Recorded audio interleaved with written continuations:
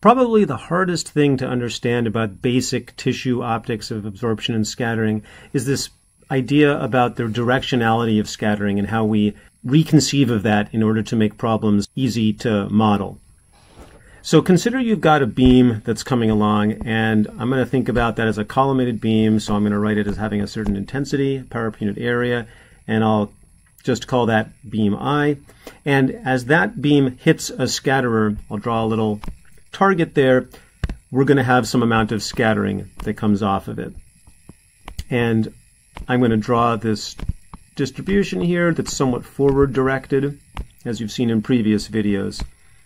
So a couple of things to point out about this. First of all, let's note that there is scattering in all directions.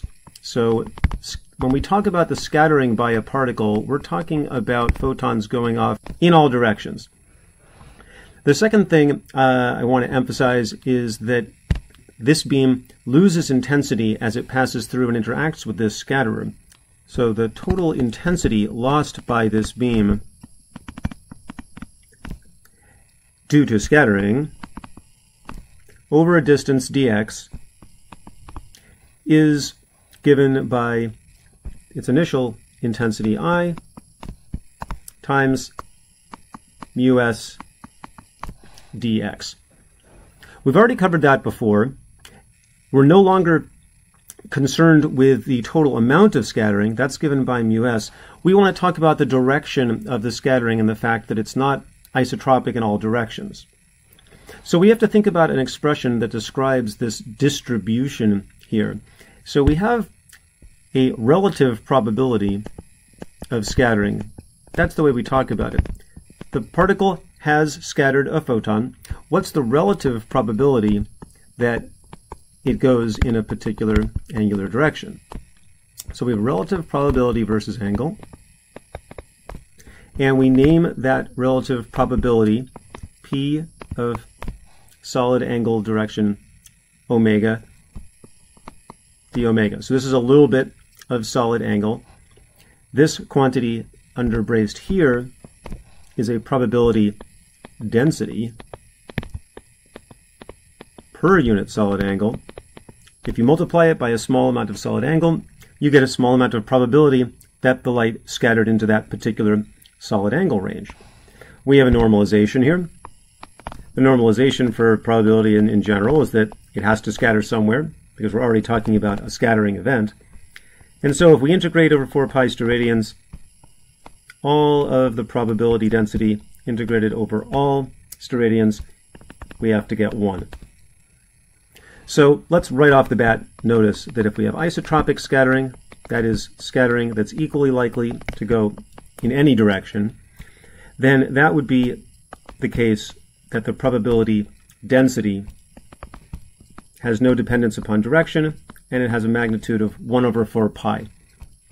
So if we integrate, of course, 1 over 4 pi over all angle, over all solid angle, we would get 1 over 4 pi times 4 pi steradians, and we would get back a 1, as we expect.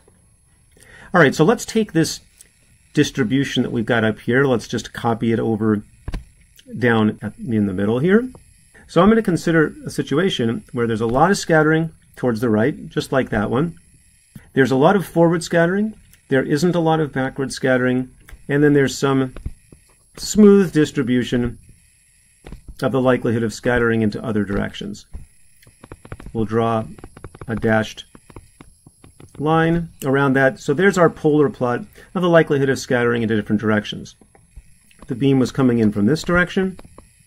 We can mark off for a particular direction. The deflection from forward is what we would call an angle theta. So this is real scattering that actually happens this way. It's usually anisotropic that way. So I'm going to label this as the anisotropic case. And what we mean by it being anisotropic is that the average value of that scattering angle theta, the average value rather of the cosine of that angle, notice the cosine of theta, it's going to be 1 for totally forward directed light, negative 1 for totally backward directed light, it would be 0 for straight up or straight down as drawn in this diagram. So in this situation, the cosine of theta averaged over this distribution, it's greater than zero because there's more forward directed than backward directed light. And we're going to name this quantity, this average value of the cosine of theta, and we're going to call it G. We can think about a beam that passes through a material that scatters light this way, and we can ask, how does that beam's intensity fall off with propagation distance? So that beam, it's going to start off with an intensity I naught. As that beam passes through more and more scattering material, and if there's also absorption in it, as you've seen previously, we would say that the total loss is due to the sum of an absorption coefficient, and there's a scattering coefficient that I'll highlight, and it goes with propagation distance x, so that's the exponential decay. Now we can think about what if it hadn't been anisotropic? What would it be like if we had a scatterer with the same mu s value but isotropic scattering. So that would be a situation where, I'll write it over here on the left, where we would have scattering that looks like this. Equal in all directions. So there's our distribution. I'll label that as being isotropic. In the isotropic case, what's different is that the average value of the cosine of theta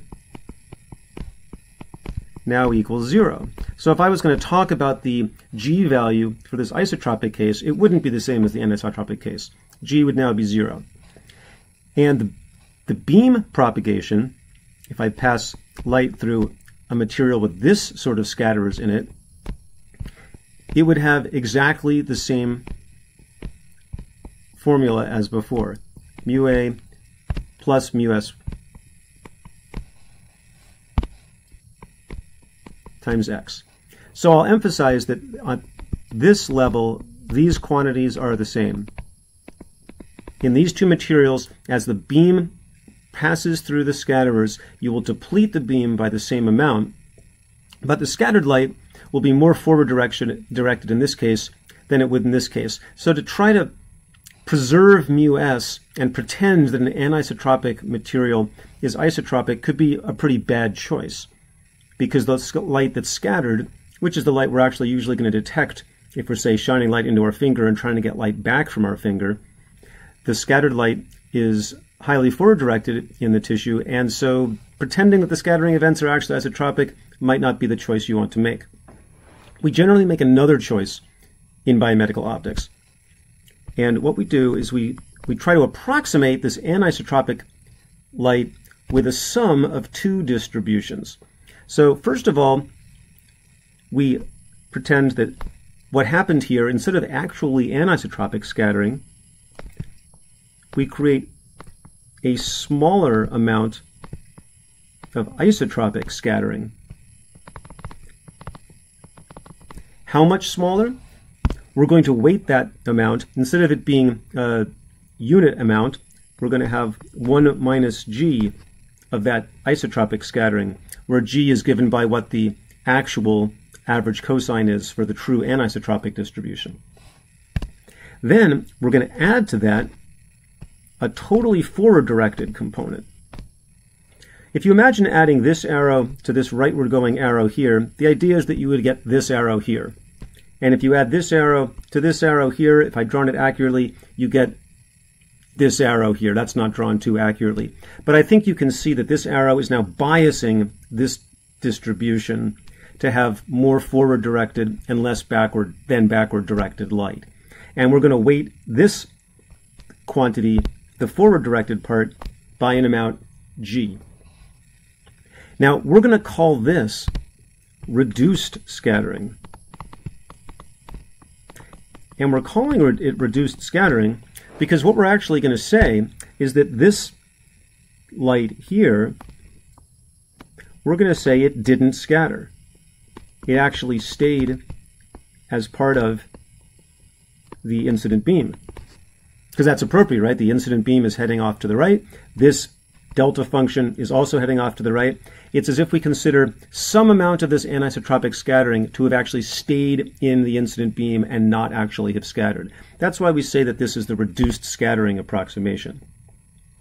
Now, if you take the anisotropy of this plus the anisotropy of this, the average value of the cosine of the scattering, the cosine of the theta of the scatter, well, this is going to average out to zero, and this is going to average out to 1 times g. So the average value of the cosine of theta, if you average over all values, you're going to get g. So it exactly, so now we've got a situation where the reduced scattering distribution matches the same g that the anisotropic version had. However, what's not going to be the same is that the beam propagation, as we propagate through this reduced medium, is going to go as I naught times e to the minus, well, what? So we still have the mu a, but we don't have as much scattering as we did before. Here, the total amount of light was scattered. Here, only 1 minus g of 100% was scattered. So I have to modify my use of mu s by saying only that much of mu s now contributes to scattering. The rest we're going to keep in the unscattered beam. And this is the conceptual point that makes this whole topic hard, is that we're pretending some of the scattered light actually didn't scatter. Now we're going to give a name to this product, 1 minus g times mu s. We're going to define that to be mu s prime, and that has the name of the reduced scattering coefficient.